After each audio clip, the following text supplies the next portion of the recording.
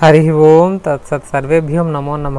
మనం అమీర్ ఖాన్ షారూఖ్ ఖాన్ ఇటువంటి ఖాన్ల యొక్క బండారం అంతా చాలా పరిశోధించి తెలుసుకుంటూ ఉన్నాం. ఆల్రెడీ షారూఖ్ ఖాన్ ఒక పాకిస్తానీ ఏజెంట్ అని చెప్పేసి అతని యొక్క పూర్వీకులు పాకిస్తాన్ నుంచి వచ్చారని చెప్పేసి మనం తెలుసుకున్నాం. ఇప్పుడు మనం అమీర్ ఖాన్ యొక్క చరిత్రను తవ్వి తెలుసుకోబోతున్నాం. ఈ అమీర్ ఖాన్ యొక్క చరిత్రను తవ్వేకుంది నాకు చాలా చాలా అత్యంత ఆశ్చర్యకరమైన నిజాలు తెలిసాయి. ఇతను ఒక పాకిస్తానీ ఐఎస్ఐ ఏజెంటే కాకుండా ఇతనికి భారతదేశం యొక్క విభజనకు సంబంధించినటువంటి కొంతమంది ఇస్లామిక్ మతోన్మాదులకు ఒక డైరెక్ట్ కనెక్షన్ అనేది నాకు దొరికింది. కాబట్టి ఈ వీడియోలో నేను ముందుగా ఇతని గురించి మాట్లాడను. నేను మాట్లాడబోయే అంశం ఏమిటి అంటే మోప్లా మోప్లా జెనోసైడ్. ఈ మోప్లా అల్లర్లు మోప్లా రాయిడ్స్ అని చెప్పేసి హిందువుల్ని మోసం చేశారు ఇన్ని రోజులు.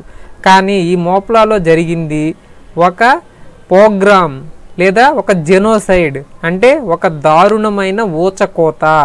ఆ ఊచకోత దేని మీద జరిగింది? మతం మీద. హిందూ అనే టైటిలు అనే హిందూకు సంబంధించినటువంటి వస్త్రధాష వస్త్రధారణ వేష భాషలు హిందువులకు సంబంధించినట్టుగా ఉన్న కనిపించినటువంటి ప్రతి వ్యక్తిని కూడా దారుణంగా నరికి పోగులు పెట్టారు జిహాదీ మతోన్మాదులు. ఇది నైన్టీన్ ట్వంటీ వన్లో జరిగింది. మరి దీనికి అమీర్ ఖాన్కి సంబంధం ఏమిటంటారా?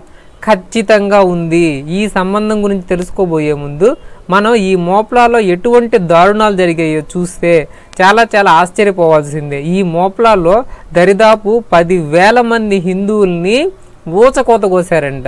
ఇంకా ఒకే ఒక్క బావిలో ఈ మోప్లా ఊచకోత జరిగిన తర్వాత చూస్తే బ్రిటిష్ వాళ్ళు ఒక్క బావిలో యాభై ఏడు మంది హిందువుల్ని కుక్కేశారంట. అందులో చం చంపేసి తలకాయలు తీసేసి. తర్వాత అసలు ఏం జరిగింది అనేది పరిశీలిస్తే ఆ బావిలో పడిన ప్రతి ఒక్క హిందువు కూడా నేను చనిపోతాను కానీ మతం మారనని భీష్మించుకున్నాడంట. అందుకని వాళ్ళందరినీ తల నరికి దాంట్లో వేసారంట ఇంకా ఒక హిందూ స్త్రీల మీద అయితే జరిగిన అత్యాచారాలు అత్యంత దారుణాతి దారుణం. వాళ్ళ యొక్క బ్రెస్ట్లు కోసేయడము తర్వాత వాళ్ళ యొక్క కడుపు చీల్చి కడుపులో ఉండే బిడ్డను కూడా చంపేశారు. అంత దారుణాతి దారుణాలు చేసినటువంటి ఈ మోప్లా జెనోసైడ్ లేదా ప్రోగ్రామ్కి నాయక నాయకులు నడిపించినటువంటి ముఖ్యమైన నాయకులు ఎవరంటే ఇంకెవరు? మన అమీర్ ఖాన్ గారి తాతలు ముత్తాతలు. ఈ మోప్లా ప్రోగ్రామ్ లేదా జెనోసైడ్ని ముందుండి నడిపించినటువంటి నాయకులు. వీళ్ళే ఖిలాఫత్ ఉద్యమాన్ని కూడా ముందుండి నడిపించారు. ఈ అమీర్ ఖాన్ యొక్క తల్లిదండ్రులే వీళ్ళ యొక్క తాతలు ముత్తాతలు వీళ్ళ యొక్క కుటుంబ సభ్యులే భారతదేశాన్ని పాకిస్తాన్గా రెండు ముక్కలుగా విభజించడంలో అతి ముఖ్యమైన పాత్ర పోషించారు. అంతేకాకుండా వీళ్ళు భారతదేశం రెండు ముక్కలైన తర్వాత పాకిస్తాన్కి వెళ్ళకుండా ఇక్కడుండి ఈ దేశాన్ని ఒక ఇస్లామిక్ రాజ్యంగా మార్చాలని చెప్పేసి ఒక పెద్ద లక్ష్యం పెట్టుకొని వాళ్ళు ఇక్కడే ఉండిపోయారు. ఎందుకు అంటారా? ఇప్పుడు అమీర్ ఖాన్ సినిమాల్లోకి వచ్చేసి ఇతను ఒక పెద్ద సెలబ్రిటీగా మారి ఇతను సత్యమే జయత వంటి షోలు చేసి ఇంకా పీకే వంటి సినిమాలు చేసి చేస్తూ ఉన్నాడు కదా. వీటన్నింటికి పునాది ఎక్కడ పడింది? ఆ ఖిలాఫత్ ఉద్యమంలో పడింది. ఆ మోప్లా జెనోసైడ్లో పడింది. ఆ ఇండియా పాకిస్తాన్ డివిజన్లో ఎంతోమంది అమాయకులైన హిందువుల్ని చంపేశారు కదా అక్కడ వీళ్ళకి పునాది అనేది పడింది. వాళ్ళు అందుకనే భారతదేశంలో ఉండి దేశం మొత్తాన్ని ఇస్లామిక్ దేశంగా మార్చాలని ప్రయత్నించారు. అసలు ఈ ఖిలాఫత్ ఉద్యమం ఈ పాకిస్తాన్ భారతదేశం డివిజన్లో ఉన్నటువంటి ఈ ప్రముఖమైన ఈ నాయకులందరూ ఎవరు అంటే ఔరంగజేబు యొక్క వారసులు.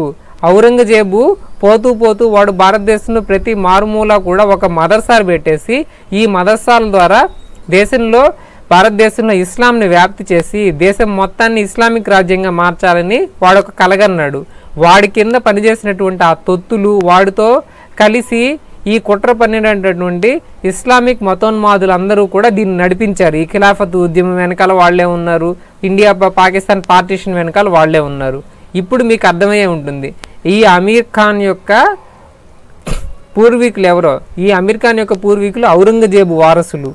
వీళ్ళు ఎన్నో లక్షల మంది హిందువుల్ని అతి దారుణంగా చంపినటువంటి దేశద్రోహులు.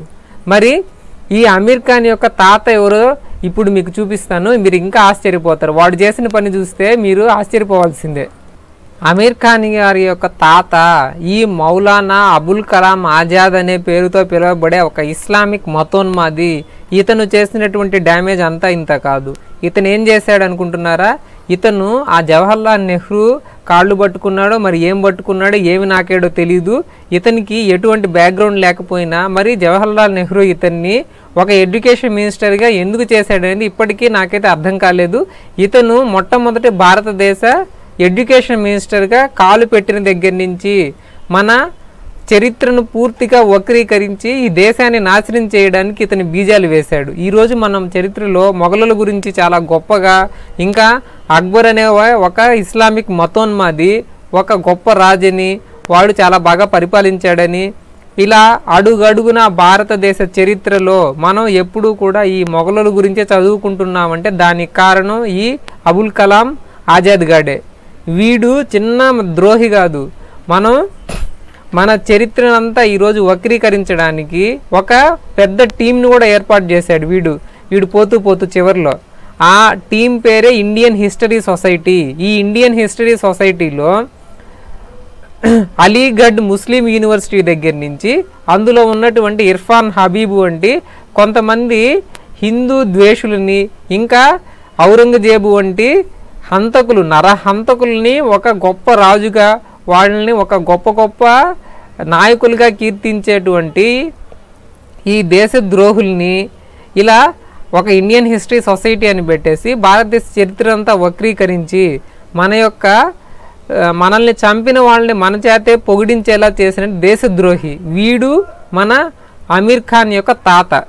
ఇక్కడ వీళ్ళకి బీజం పడింది. వీళ్ళ నర నరాల్లో కూడా హిందూ ద్వేషం అనేది నింపుకొని ఉన్నారనమాట వీళ్ళు. అలా వీళ్ళ యొక్క మనవడే మన అమీర్ ఖాన్. ఇతని యొక్క అసలు పేరేమిటి ఇతను ఎలా పైకొచ్చాడు ఇతనికి పాకిస్తాన్లోని ఐఎస్ఐకి సంబంధం ఏమిటనేది మనం ఇప్పుడు వివరంగా తెలుసుకుందాం. అసలు ఈ అమీర్ ఖాన్ యొక్క తాత అయిన ఈ మౌలానా అబుల్ కలాం ఆజాద్ ఎక్కడ పుట్టాడో తెలిస్తే మీరు షాక్ అవుతారు. ఇతను పుట్టింది మక్క. అప్పట్లో ఎయిటీన్ ఫిఫ్టీస్లో ఈ మక్కా అనేది ఒట్టోమాన్ సామ్రాజ్యంలో ఒక భాగంగా ఉండేది. అంటే ఇది ఒక టర్కీ. అంటే ఖలీఫా సామ్రాజ్యం. ఇతను ఒక కరుడుగట్టిన విష విషం తలకెక్కిపోయినటువంటి ఇస్లామిక్ మతోన్మాది. అందుకే అతను సౌదీలో పుట్టి అక్కడ ఉన్నటువంటి ఆ ఇస్లామిక్ మతోన్మాదాన్నంతా నర నరాన ఎక్కించుకొని తర్వాత ఎందుకు వచ్చాడో ఎప్పుడు వచ్చాడో తెలియదు అక్కడి నుంచి భారతదేశానికి వచ్చేసి ఇక్కడ ఇతను ఒక కాంగ్రెస్ పార్టీ లీడర్గా చలామణి అవుతూ కాంగ్రెస్ పార్టీలో ముస్లిములకి రిజర్వేషన్లు ఇవ్వడము ఇంకా ముస్లిములకి మంచి మంచి తాయిలాలు ఇవ్వడము వాళ్ళని దువ్వడము ఇటువంటి కార్యక్రమాలన్నీ ముందుండి వెనకాలండి నడిపించింది ఈ మౌలానా అబుల్ కలాం ఆజాదే. ఇతను ఒక ఆఫ్ఘనిస్తానీ వ్యక్తి.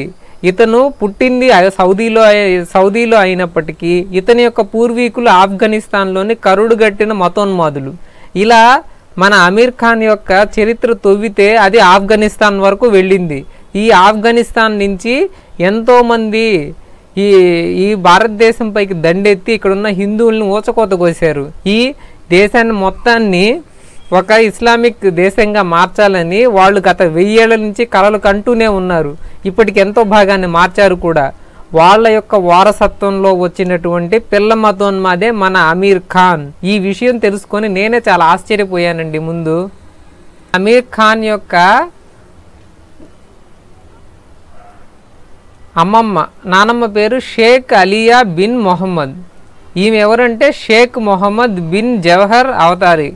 ఇలా వీళ్ళందరూ కూడా ఈ అరేబియాలో మంచి ఒక ఇస్లామిక్ మతోన్మాదుల సంఘానికి చెందినటువంటి ముఖ్యమైన నాయకులు. వాళ్ళు తమ యొక్క తరువాతి సంతానం భారతదేశాన్ని ఒక ఇస్లామిక్ దేశంగా మార్చాలని చెప్పేసి వాళ్ళ యొక్క సంతానాన్ని భారతదేశానికి పంపించారు. వాళ్ళ యొక్క వారసత్వంలో వచ్చిన అమీర్ ఖానే ఇప్పుడు ఆ పనిని కొనసాగిస్తూ ఉన్నాడు. అమీర్ ఖాన్ తనకు పుట్టినటువంటి కొడుకు కొడుకు కూడా ఆ మౌలానా అబుల్ కలాం ఆజాద్ యొక్క పేరునే పెట్టుకున్నాడు. కావండి కావాలంటే మీరు వెళ్ళి మీరు వెళ్ళి పరిశీలించుకోండి. అమీర్ ఖాన్ యొక్క అసలు పేరు మొహమ్మద్ అమీర్ తాహిర్ హుస్సేన్ ఖాన్.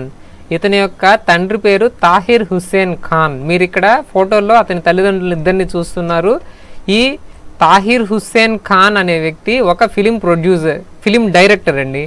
తర్వాత ఇతని మామ వచ్చేసి నాసిర్ హుస్సేన్ ఖాన్. ఈ నాసిర్ హుస్సేన్ ఖాన్ వచ్చేసి ఒక ఫిలిం ప్రొడ్యూసర్ ప్రొడ్యూసరు డైరెక్టరు. వీళ్ళందరూ కూడా పంతొమ్మిది వందల అరవైలోనే వీళ్ళు బాలీవుడ్లో స్థిరపడ్డారు.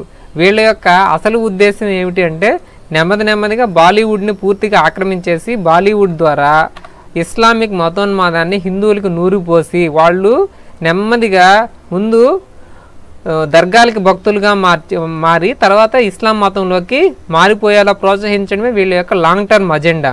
ఆ అజెండాతో వీళ్ళు పనిచేశారు. అలా పనిచేసి తమ యొక్క వారసుడిని ఇప్పుడు భారతదేశం మీద వదిలిపెట్టి పోయారు.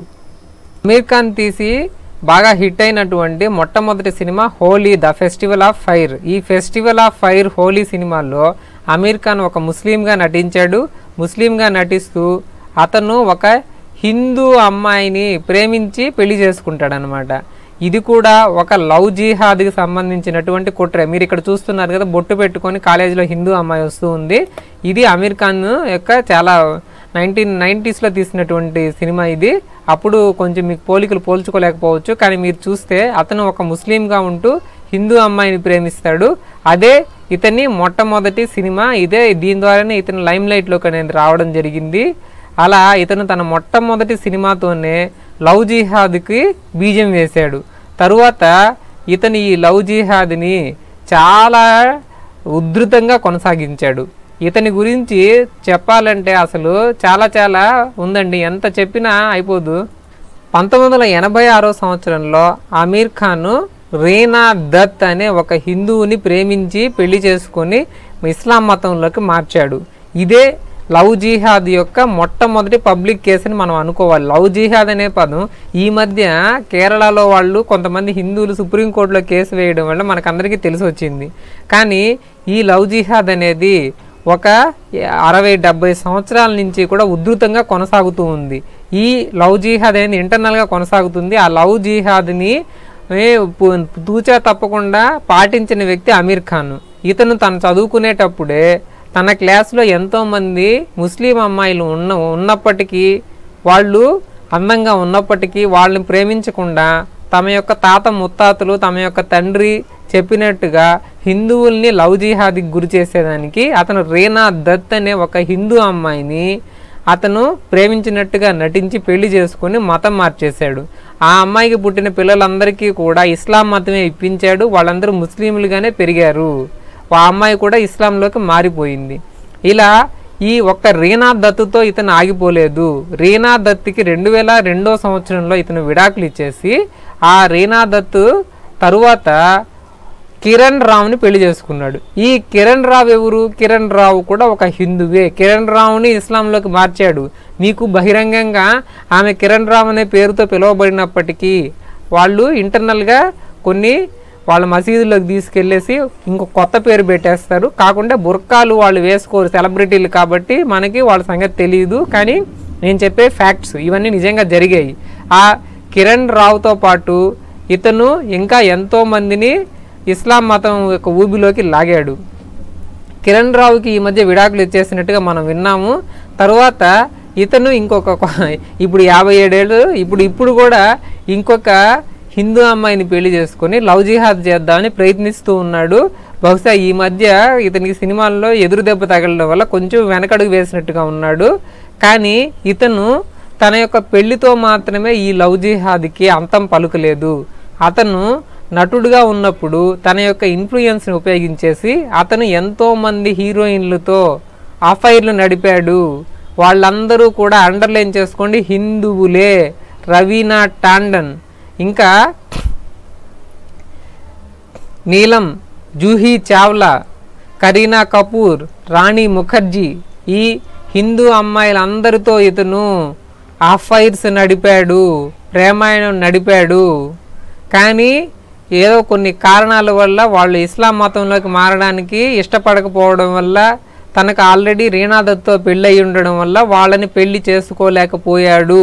కానీ ఇతను తన యొక్క లవ్ జిహాద్ మెంటాలిటీని ఇప్పటికీ కొనసాగిస్తూ ఉన్నాడు. ఇంకా బహిరంగంగా తెలిసినవే ఇవి తెలియనివి ఇంకా చాలా ఉన్నాయి. ఇతను తన యొక్క లవ్ జిహాద్ని ఒక్క భారతదేశంలోని హిందువులకే పరిమితం చేయకుండా ఇతనికి పరిచయమైనటువంటి తెల్లవాళ్ళను కూడా ఈ లవ్ జిహాద్లోకి లాగాడు. అది కూడా మీకు వివరంగా చెప్తాను. ఇతను తనకు పరిచయమైనటువంటి ఒక బ్రిటిష్ జర్నలిస్ట్తో ప్రేమాయణం నడిపి ఆమెకు కడుపు కూడా తెప్పించి పెళ్ళి చేసుకోకుండా వదిలేశాడు.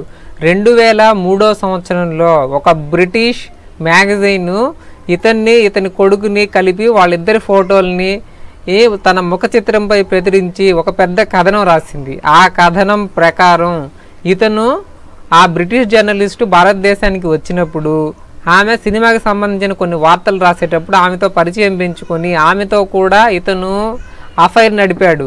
తర్వాత ఆమెకు గర్భం వచ్చింది ఆమెకు పెళ్ళి కాలేదు. ఆమె తిరిగి బ్రిటన్ వెళ్ళిపోయింది. నేను వచ్చి పెళ్ళి చేసుకుంటానని అది ఇది చెప్పి ఇతన్ని పెద్ద హ్యాండ్ ఇచ్చాడు. తర్వాత ఇతని వాళ్ళు అంత సీరియస్గా తీసుకోరు కాబట్టి పుట్టిన బిడ్డను ఆమె పెంచుకుంటూ వచ్చింది. తరువాత ఆమె ఆమె ఆమె ఆమెతో ఇతను ఒక సంధి నెరవే సంధి పెట్టుకున్నాడు. ఏదో కొంత డబ్బులు ఇచ్చో ఏదో ఏదో చెప్పేసి ఇక ఈ కొడుక్కి నాకు సంబంధం ఉన్నట్టు మీరు పబ్లిక్గా అనౌన్స్ చేసి నా యొక్క పొరుగు తీయొద్దని మరి ఏదో చేసేసి అతను అలా తప్పించుకున్నాడు. ఇతని యొక్క కొడుకు ఫోటో ఇతని యొక్క ఫోటో పక్క పక్కనే చూడండి. హండ్రెడ్ పర్సెంట్ ఇతని పోలికలే ఉన్నాయి. ఈమె ఆ బ్రిటిష్ జర్నలిస్టు. ఈమె స్వయంగా వీడి తండ్రి అమీర్ ఖాన్ అని చెప్పేసి ఆమె చెప్పింది. ఆమె ఇప్పటికీ భర్త లేకుండా ఒంటరిగా తన కొడుకుని పెంచుకుంటూ ఉంది. ఈ కొడుకు కూడా అమీర్ ఖాన్ స్వయంగా ఇతనే ఆమె జర్నలిస్ట్ పేరు. జాన్ ఇన్ వోగ్ జాన్ అనే ఒక ఇస్లామిక్ పేరుని పెట్టింది. ఈమె వీడు ఇప్పుడు ఈ అమీర్ ఖాన్ యొక్క రికమెండేషన్తో వీడికి ఉన్నటువంటి పరిచయాలతో ఒక బ్రిటిష్ మోడల్గా ఇతను పనిచేస్తూ ఉన్నాడు. ఇలా ఇతను అడుగడుగునా కూడా లవ్ జిహాద్ని కొనసాగించాడు. ఇందులో ఎటువంటి సందేహం లేదు. ఇతను ఒక జిహాదీ. ఇతనికి మరి పాకిస్తాన్ ఐఎస్ఐకి సంబంధం ఏమిటి అంటారా? ఇతను చేసినటువంటి సత్యమేవ జయితే అనే షో ఉంది. ఈ సత్యమేవ జయితే అనే షో యొక్క ప్రొడ్యూసర్ అమీర్ ఖానే దాని యొక్క డైరెక్టరు నటీనట్లు అంతా అమీర్ ఖానే. ఈ సత్యమేవ జయితే అనే షోకి వచ్చిన ఫండింగ్ ఆ తన సొంత పేరుతో అమీర్ ఖాన్ ప్రొడక్షన్స్ అనే కంపెనీ పెట్టుకున్నాడు. ఆ కంపెనీకి పాకిస్తానీ ఐఎస్ఐ నుంచి నిధులు వచ్చాయని చెప్పేసి సుబ్రహ్మణ్య స్వామి గారు ఆయన కొంత పరిశోధించి ఒక స్టేట్మెంట్ అనేది ఇవ్వడం జరిగింది. ఆయన చాలా గొప్ప వ్యక్తి. ఆయనకి చాలా కాంటాక్ట్స్ ఉన్నాయి. ఆయన తన కాంటాక్ట్స్ ద్వారా ముందుగా పాకిస్తానీ ఐఎస్ఐ యొక్క ఏజెంట్లు దుబాయ్లో మరియు టర్కీలో ఉన్నట్టు ఇతను అప్పుడప్పుడు టర్కీకి దుబాయ్కి వెళ్ళొస్తూ ఉంటాడు. అలా వెళ్ళొచ్చినప్పుడు అక్కడ ఉన్నటువంటి పాకిస్తానీ ఐఎస్ఐ ఏజెంట్లని కలిసినట్టు వాళ్ళ దగ్గర నుంచి భారతదేశంలో ఉన్నటువంటి కొన్ని హవాలా ఛానల్స్ ద్వారా ఇతని ఈ అమీర్ ఖాన్ ప్రొడక్షన్స్కి డబ్బు అందు అందుతున్నట్టు మన సుబ్రహ్మణ్య స్వామి గారు నిర్ధారించారు. దానికి సంబంధించిన కొన్ని ఆధారాలు కూడా ఉన్నాయన్నారు. కానీ అవేవి కూడా కోర్టులో నిరూపించడానికి సాధ్యం కాదు. ఎందుకంటే ఆ డబ్బు అనేది హవాలా ఛానల్స్ ద్వారా వస్తుంది. కాబట్టి అది ఎలా వచ్చింది అంటే నిరూపించడం సాధ్యం కాదు. కాబట్టి ఆయన దీని మీద కేసులు అయితే ఫైల్ చేయలేదు. కానీ నా దగ్గర ఫుల్ ఎవిడెన్స్ అయితే ఉందని చెప్పేసి ఆయన స్పష్టంగా చెప్పడం జరిగింది. ఇలా ఈ అమీర్ ఖాన్ను ఒక పాకిస్తానీ ఐఎస్ఐ ఏజెంట్గా భారతదేశంలో ఉంటూ ఇక్కడ హిందువుల్ని హిందూ పండుగల్ని హిందూ దేవుళ్ళని నెమ్మది నెమ్మదిగా అవమానిస్తూ తమ దేవుళ్ళ మీద హిందువులకి అసహ్యం కలిగేలా చివరికి తాము తమ మతానికి తమ దేవుళ్ళకి దూరం అయ్యి ఇస్లాంలోకి మారిపోయేలా ఒక సాఫ్ట్ వేలో ఇతను ఒక ప్రచారం చేస్తూ ఉన్నట్టుగా మనకి తెలిసింది. తబ్లిగీ జమాత్కి ఇతనికి కూడా చాలా దగ్గర సంబంధాలు ఉన్నాయి తబ్లిగీ జమాత్ అనే ఒక జిహాదీ సంస్థ నుంచి కూడా ఇతని అమెరికన్ ప్రొడక్షన్స్కి డబ్బు అందిస్తున్నట్టు మనకి ఆధారాలు లభించాయి. ఇంకా ఈ సత్యమేవ జైతే షోలో అందరూ ఇరవై ఐదు ఎపిసోడ్లు జరిగితే ఆ ఇరవై ఐదు ఎపిసోడ్లు అన్నింటిలో కూడా ప్రతి ఎపిసోడ్లో విక్టిమ్ అనేది ఒక హిందూ స్త్రీ లేదా ఒక హిందూ కుటుంబానికి సంబంధించిన వాళ్ళే అనమాట హిందూ పేర్లు ఉండేవాళ్ళే ఇతను ఒక ముస్లిము. తన మతంలో ఉన్నటువంటి దురాచారాల మీద పోరాడవచ్చు కదా. నిజంగా అతనికి అంత ఆసక్తి ఉంటే లేదు. హిందువుల్ని డిఫేమ్ చేయడమే ఇతని యొక్క ఉద్దేశం ఇతను అలా ఒక పాకిస్తానీ ఐఎస్సీ ఏజెంట్కి ఒక సాఫ్ట్ ఏజెంట్గా పనిచేస్తూ ఉన్నాడు. కాబట్టి ఇతని మీద కేసులు వేసినా ఏం వేసినా నిలబడవు. కానీ మనమందరం కూడా ఇతని యొక్క నిజ స్వరూపాన్ని తెలుసుకొని ఇతన్ని బాయ్కాట్ చేస్తే చాలు. ఇంకా ఇతని గురించి చెప్పాల్సింది చాలా ఉంది. ఇంకొక పాటలో చెప్తాను. హరి ఓం.